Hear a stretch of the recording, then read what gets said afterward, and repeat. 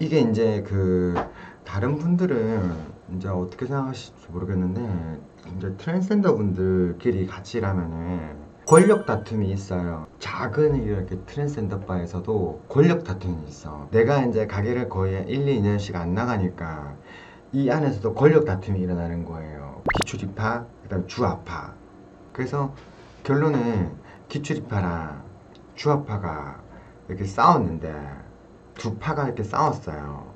그래서 두 파가 싸워가지고 치고받고 싸운 건 아니고 그때 당시에 뭐 술 먹고 이렇게 엘리베이터에서 뭐 이렇게 그 때리기도 했고 했다고 하- 그 우리 썰에서 나와 있었잖아요. 그런 것도 있긴 있었는데 치고받고 싸운 게 아니라 이 권력 다투면서 결국에는 둘이 마찰이 생겨가지고 내가 두 사람을 놓고 이제 얘기를 했어요. 왜 이렇게 싸워대냐?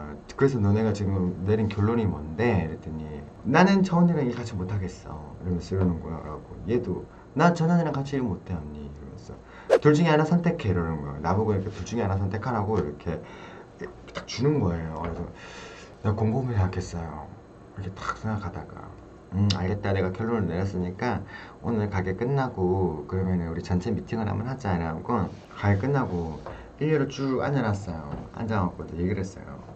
진짜 너네 좋다. 기, 내 지금 기분이 어저께 내가 집에서 하루 종일 생각을 했는데 기분이 진짜 너무 욕, 역각 같다고.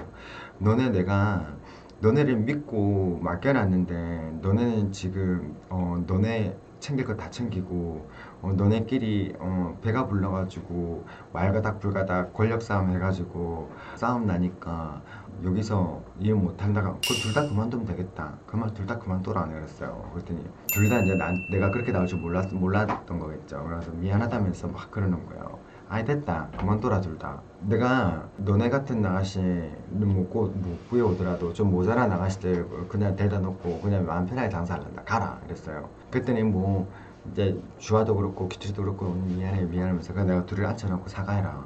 사과 받아주고 사과하고 서로 어, 니도 언니한테 그러면 안 되고 니도 동생한테 그러면 안돼 이래가지고 화해를 시켜줬어요. 그러고 난 뒤에 도망을 왔어요. 기출이가 한 5, 6년 전에 도망을 왔어요. 도망을 야밤도주란 거죠. 그 야밤도주란 거를 또 잡아놨어요. 잔소리 해가지고 야 철 좀 있어라. 네가 그 동생이랑 싸웠다 해가지고 언니 그러면 내 싫어하는데 그러면 어떡하냐면서 니 싫어하지 않는다면서 살다 보면 다 그렇고 그렇다면서 이런 일도 있고 저런 일도 있고 있지.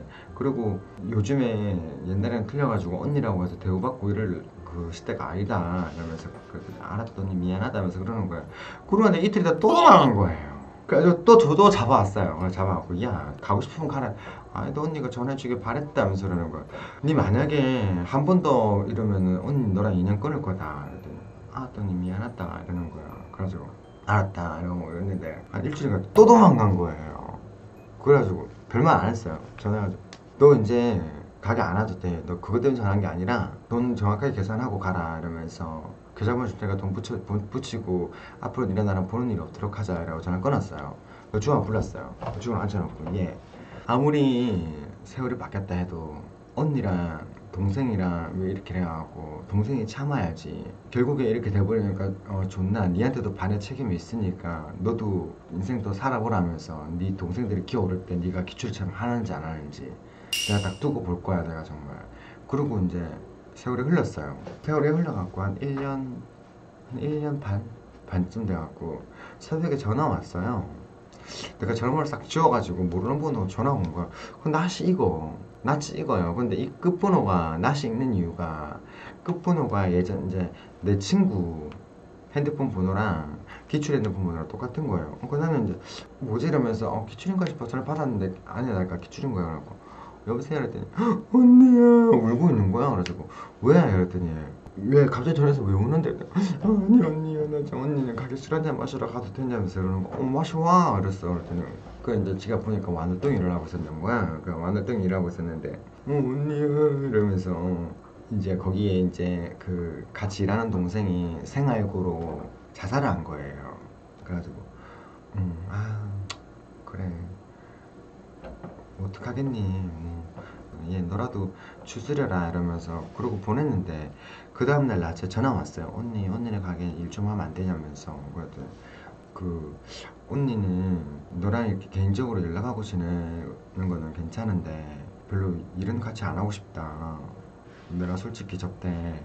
이런 이런 이런 이런 무책임한 일을 네가 이렇게 했을 때 나는 그때는 그때 이제 일적으로 너랑 이렇게 거래를 끊었다. 언니 이제 내가 정신 차렸다면서 언니 이제 잘할게 이러면서 그러려고 그렇게 다시 만난 거예요 그래서 같이 만나게 된 거예요. 그러니까 기출이랑 나랑은 한 20년 넘었죠. 그러니까 20년 넘었는데 뗄래야 뗄 수 없는 그런 사이지.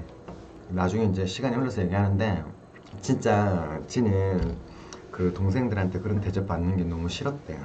그만도 이해가더라